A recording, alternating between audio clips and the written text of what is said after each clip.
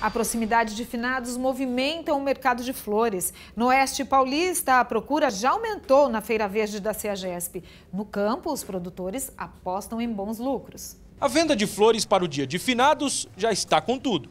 Nessa feira, realizada na Companhia de Entrepostos e Armazém Gerais, em Prudente, as encomendas não param de chegar. Os crisântemos são campeões de vendas mas segundo o vendedor, outras espécies ganharam espaço. O que está vendendo bem para esta data é Sampatins. É uma flor bonita, ela é barata e o pessoal está levando bastante porque ela é de sol.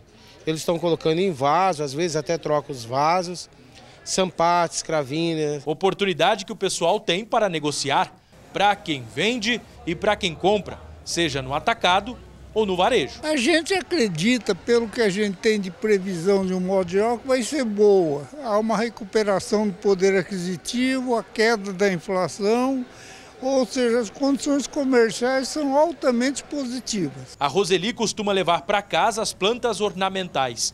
Dessa vez, aproveitou a visita já pensando no dia de finados. Eu gosto de comprar flores naturais, né? Eu opto pela variedade e também pelos preços, que é mais em conta do que mercado e as flores são mais viçosas, mais novas, né? A procura aquecida traz boas expectativas para quem produz. O Adolfo passou o último mês se preparando para a data de finados e já tem motivos para comemorar. São quatro hectares cultivados com um crisântemo de corte, tudo com destino certo no mercado, a preço estável e tem mais. Fora essas flores que estão aqui no campo, o produtor investiu também no crisântemo de vaso, aquele que já vem pronto para venda.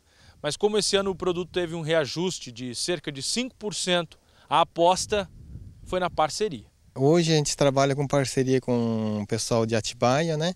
Aí eles produzem e mandam para a gente. Está em torno de 10 mil vasos para chegar. É, e vale lembrar, né, que quando for colocar um vaso ali, fazer a sua homenagem, lembrar de colocar uma terrinha, uma areinha, né, para que não acumule água e não traga outros problemas, né? Todo cuidado é pouco.